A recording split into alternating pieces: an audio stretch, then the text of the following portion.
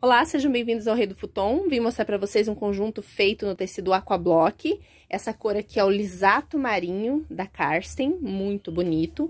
Acabamento com borda turca, né? Essa borda aqui. Ficam os gominhos, botonês, tá? Botões encapados dos dois lados. Lembrando que os nossos futons podem ser utilizados dos dois lados, tá? Você pode estar sempre virando. É até bom virar para para manter a espuma sempre uniforme, né? Aqui uma espuma D28 recoberta com espuma soft e manta de fibra sintética para manter aqui o conforto e a durabilidade do teu futon. Esse aqui foi feito sob medida para um cantinho de leitura da cliente.